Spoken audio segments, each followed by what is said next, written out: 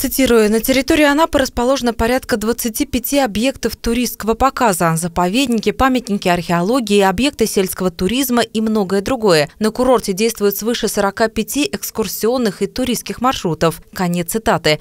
Министерство туризма края, по его словам, рекомендует посетить храм Святого Ануфрия Великого и Анапский археологический музей Гаргипия.